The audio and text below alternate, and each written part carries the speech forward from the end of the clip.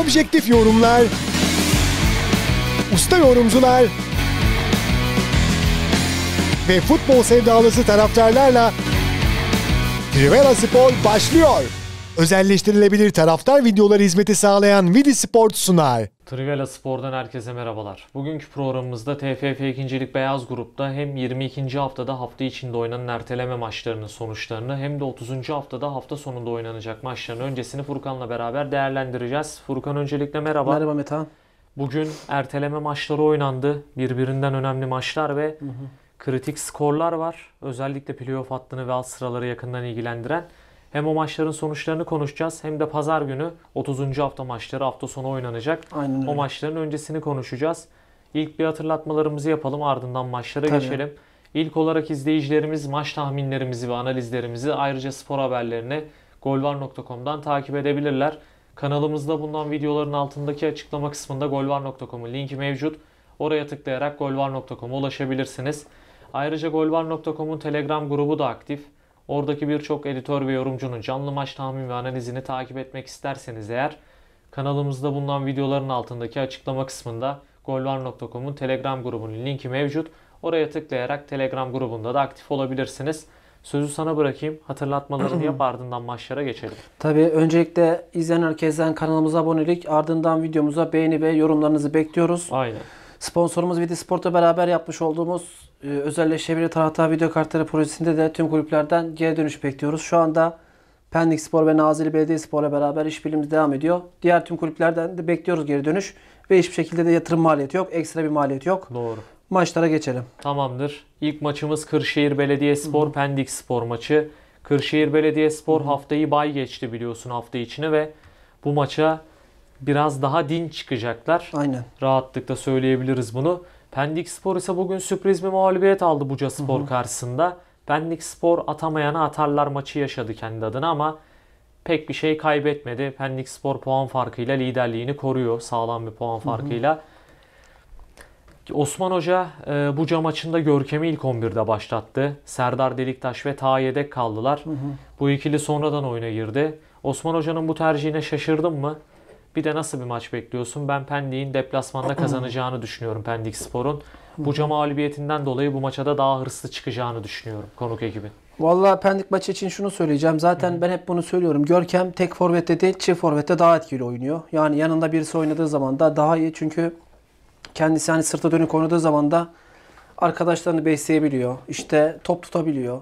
Doğru. Oyunu şekillendirip yönlendirebiliyor. Ama tek oynattığın zaman da verimi düşüyor. Bu anlamda baktığım zaman da 11'de başlaması, tek olarak başlaması özellikle bence yanlıştı. Eğer oynatacaksan 11'de ya Taha Balcı ile yan yana oynayacaksın ya da Serdar Deliktaş'la.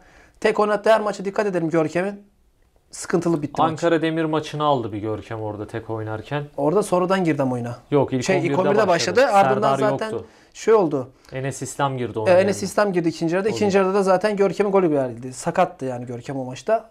Daha doğrusu sakat devam etti ve ardından gol attı. Çıktı golden Ama genele vurduğun zaman da Görkem tekli değil çiftli forvette daha etkili olan bir oyuncu. Mesela Tarsus maçı aldırıldı çift forvetken.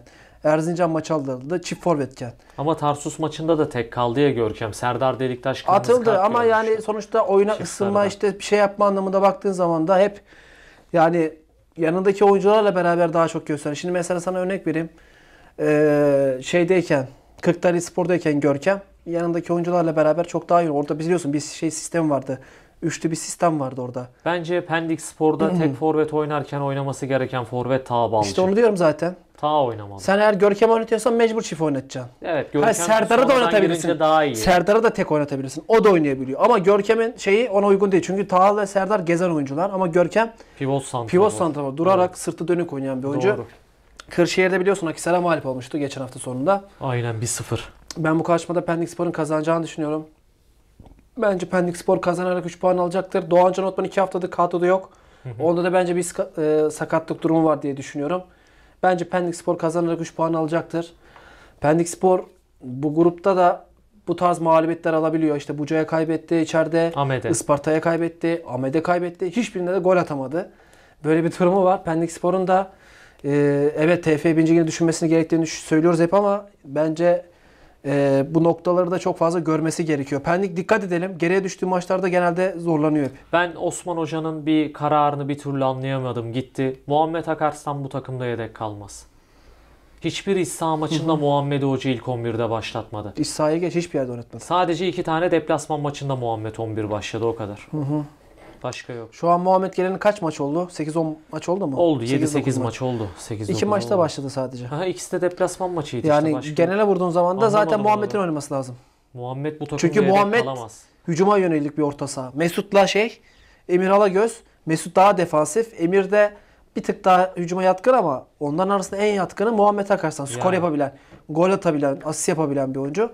Hocanın kararını ben de o anlamda anlamıyorum ve yani Osman Hoca'nın vereceği kararlar çok önemli olacak Pendik Spor'da. Tabii Yani bu sene Pendik Spor'un rakibi yoktu Beyaz Grup'ta. doğru. Ben Kırşehir Belediyespor'un da playoff'a kalamayacağını düşünüyorum. Onu da söyleyeyim. Bunu hep söylüyorum. Aynen sen söylüyorsun. hep. Yeterli değil kadrosu. Ben bence. bakalım ben sezon sonuna kadar kovalayacağını düşünüyorum Bakalım zaten. ne olacak. Zaten sezon sonunda göreceğiz. Şu anda da Kırşehir'in 34'te kaldı puanı. Puan farkı da 5'e çıkmış durumda. Zaten bu maçta kazanılamasa 8'e doğru 6'ya doğru çıkabilir. Yol alabilir. Aynen Aynen, öyle. öyle. Bir diğer mücadeleye geçelim. İki tarafa da başarılar dileyelim. Aynen öyle. Başarı dileklerimizi iletiyoruz. Kırklareli Spor Buca Spor'u ağırlayacak. Kırklareli Spor bugün Eskişehir deplasmanında 2-0 öne geçtiği maçta 2-2 berabere kalarak çok büyük bir hata yaptı. Buca Spor da Pendik deplasmanında 1-0 kazanarak lidere, lider karşısında inanılmaz bir galibiyet aldı kendi adına ve ekstra bir 3 puan aldı bence. Nasıl bir maç bekliyorsun? Kırklareli Spor her sene hani maalesef böyle bir performansı var. Yani bir türlü istikrar sağlayamıyor Kırklareli Spor. Buca Spor ise ikinci lige ilk geldiği sene uzun bir aranın ardından playoff adına önemli bir göz kırpma yaşıyor. Ne düşünüyorsun? Nasıl bir maç olur?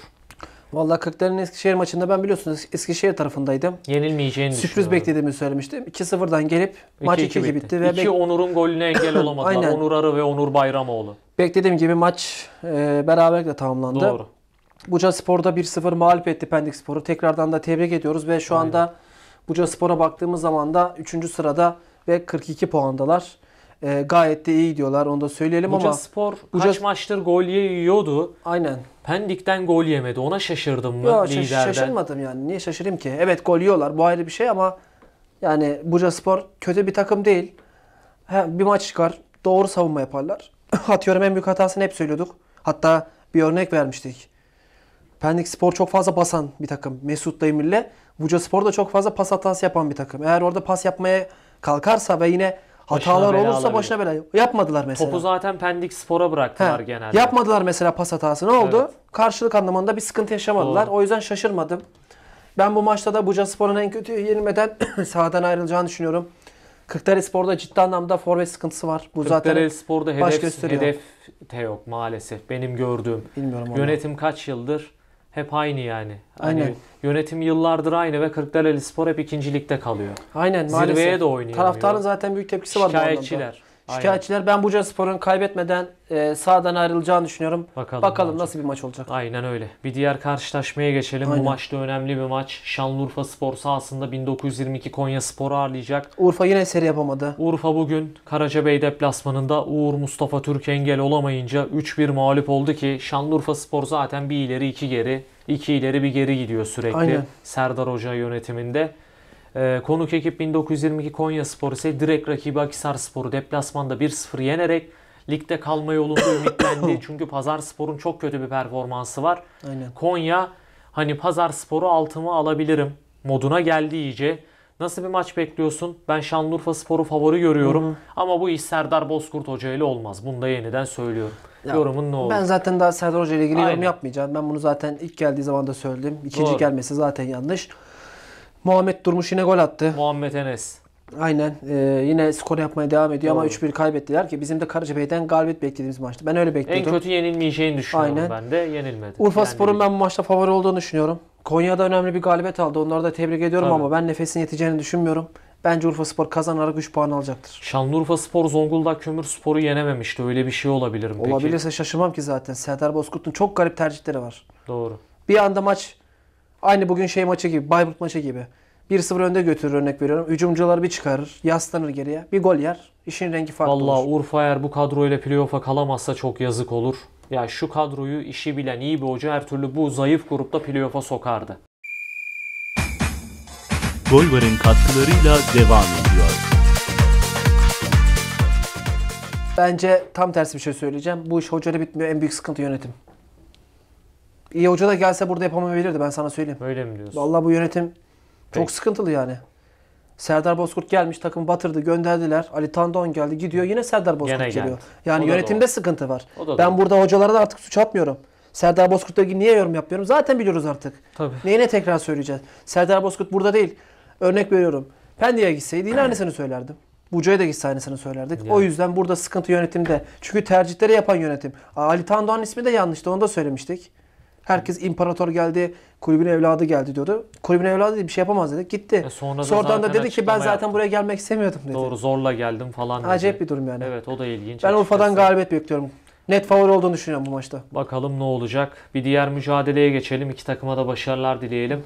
Nazilli Belediyespor Akisar Spor'u ağırlayacak. Aynı bölgenin iki ekibi Aynen. Nazilli'de karşı karşıya gelecekler. Nazilli yeni hocası Taner Özel Hoca ile çıktı. İlk maçı kazanmayı bildi. Ahmet Spor'u Aynen öyle. 1-0 yendiler ki Ahmet Spor 3'te 3 yapmıştı Ahmet Yıldırım Hoca geldikten sonra. Mert Çapar'ın attığı golle önemli bir galibiyet aldı Nazilli ve kendini rahatlattı iyice. E diğer tarafta Akisar Spor ise direkt rakibi e, 1922 Konya Spor'a kendi evinde yenilerek baltayı taşa vurdu. Ben bu maçta Nazilli'yi net favori görüyorum. Akisar küme düşecek yani o net. Yorumun ne olur? Ben de Nazilli'nin kazanacağını düşünüyorum. Taner Hoca ilk galibiyetini aldı. Bir de Nazilli bu maçı kazanırsa ben playoff'a kalamayacağını düşünüyorum ama Ben de zor görüyorum. bir hava Ben yakalayacağını düşünüyorum. 37 puan yaparlar. Hani belki derler. Çünkü bu ligde hep diyoruz sezon sonuna kadar alttaki takımlarla yukarıdaki makas çok açılmayacak. zaten. Doğru. Bu anlamda kazanırsa tekrardan bir havaya girebilirler. Ama ben kalacaklarını düşünmüyorum. Ben de kalamayacağını O benim düşünüyorum kendi zaten. düşüncem. Evet. Akisar Spor da direkt rakibine kaybederek ayağına sıktı bence. Kırşehir'i mağlup ettiler ardından Konya'ya yenildiler kendi sahalarında. Hiç telafisi olmayan bir maç. Ben ev sahibi Nazilli'den 3 puan bekliyorum. 1922 Konya'da hem Eskişehir'i deplasmanda hem de Akisar'ı deplasmanda yendi. Aynen. İki direkt rakibini mesela. Açıkçası önemli bir maç. Nazilli'nin burada hata yapmaması lazım şu açıdan. Nazilli hani Yok sıkıntı alt, yaşamaz ya Nazilli. alt sıraların sıcaklığını hani son haftalara çok rahat girmek istiyorsa bu tür maçlarda hata yapmamalı. Eskaza bir sıkıntı yaşamamak için. Akisar'ın zaten bu kadro yapısıyla işi çok zor.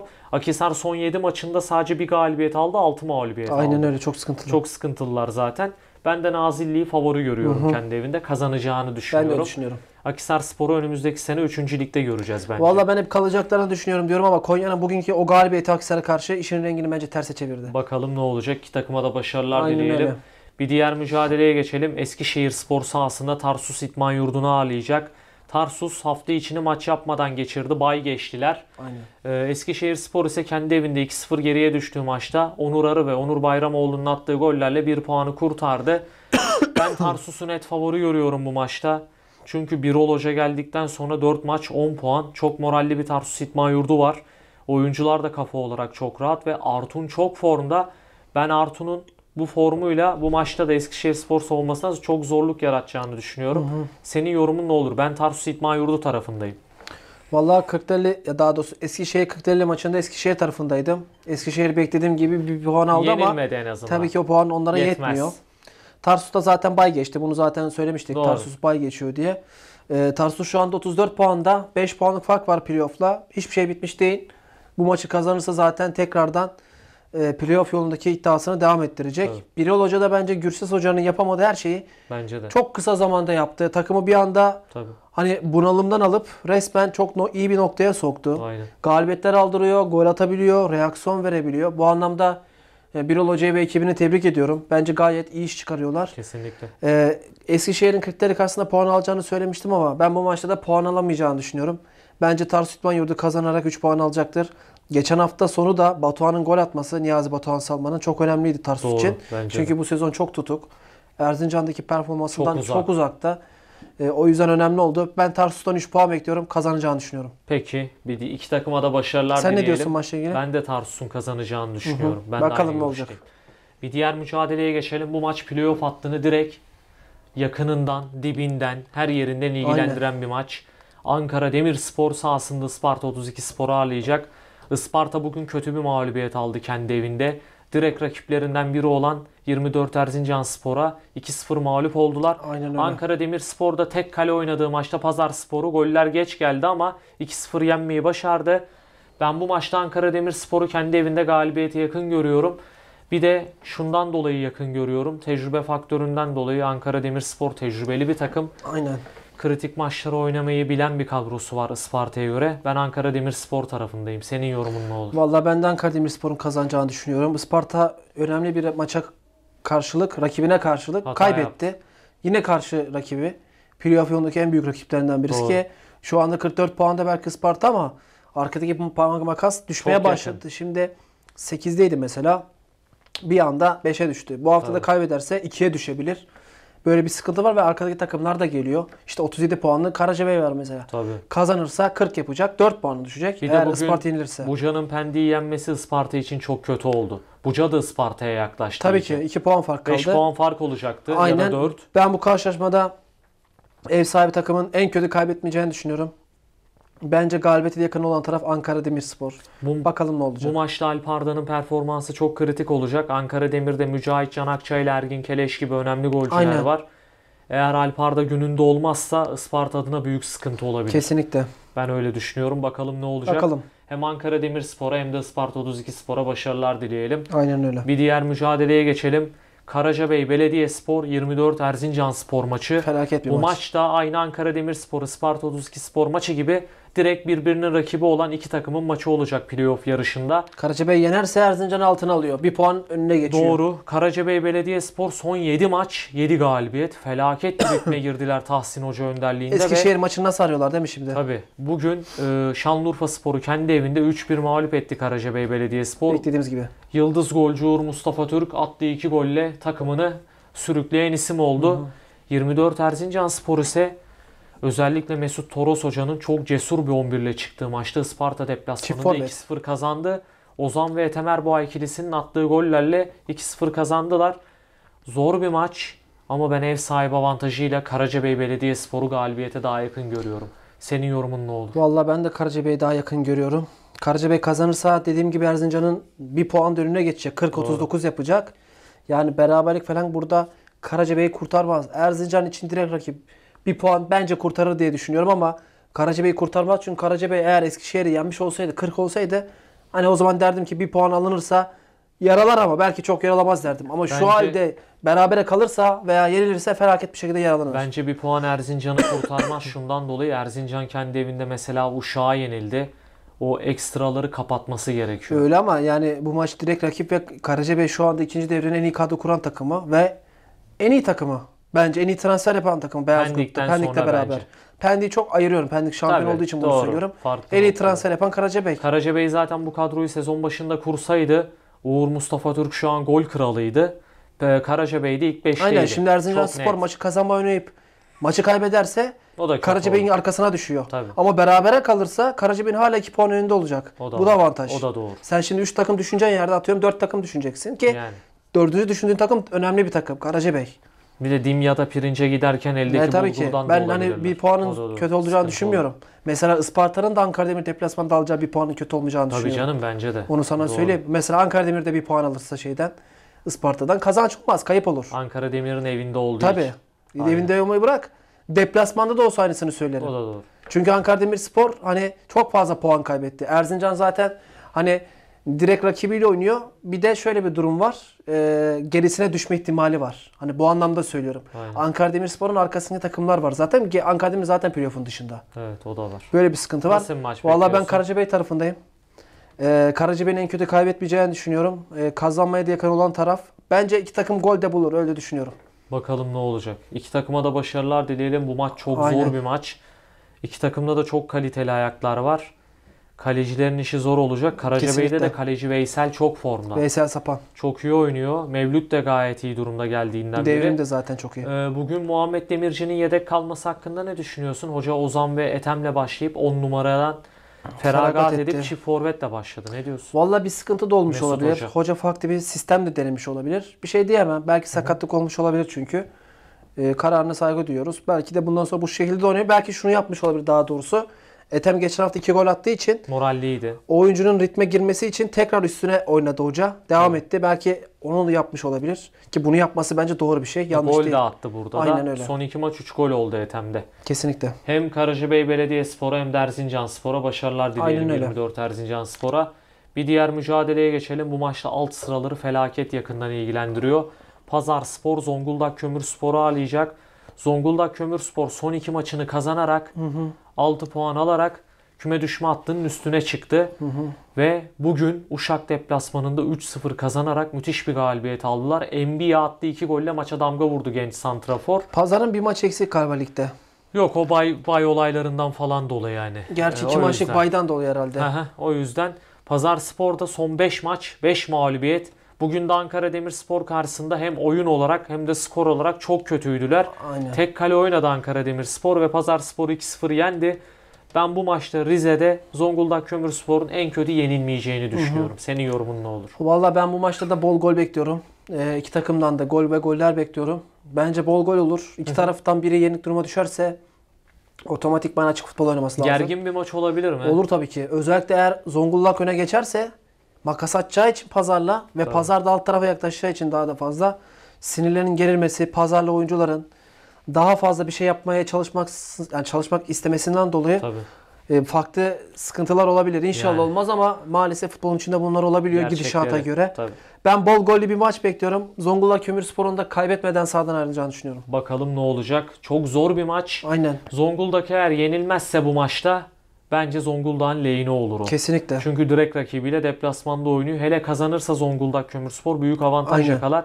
Pazar Spor'un da düşme ihtimali yükseliyor iyice yani. Aynen öyle oluyor. Kötü durumdalar. Bayağı bakalım. İki takıma da başarılar dileyelim. Aynen öyle. Tüm maçların öncesini konuştuk. Hafta içi sonuçlarını da konuştuk. Kapatmadan önce ekleyeceklerim var mı? Öncelikle kazanan tüm takımları tebrik ediyoruz hafta arasındaki maçlarda. Hafta sonundaki 30. hafta maçlarında da tüm takımlara başarı dileklerimizi iletiyoruz. Herkese iyi seyirler diliyorum. Tüm kulüplerden projemizle ilgili de geri dönüş bekliyoruz. Ayrıca 30. hafta oynayacak maçlarda da tüm kulüplere başarı dileklerimi iletiyorum. Tüm şehirlere de selamlarımı gönderiyorum. Ben de sana teşekkür ederim. Rica Ağzına ederim, sağlık. Bizi izleyen tüm izleyicilerimize de çok teşekkür ediyoruz. Tüm takımları, hafta içi maçlarını kazanan tüm takımları tebrik ediyoruz. Aynen öyle. Hafta sonunda da tüm takımlara başarılar diliyoruz. Herkese iyi günler, hoşçakalın. Hoşça kalın, iyi günler. Spor kulüplerine taraftar etkileşimleri sağlayan, sponsorluk değerlerini arttıran ve yeni gelirler kazandıran Vidi Sport'un sunduğu Trivela Sport sona erdi.